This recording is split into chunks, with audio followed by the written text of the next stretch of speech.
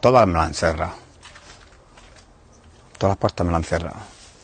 Y no voy a dar el nombre de almacén porque no lo voy a hundir, pero ya se lo he dicho que lo mismo que me iba a buscar la vida con la sandía, me iba a buscar la vida con la finca.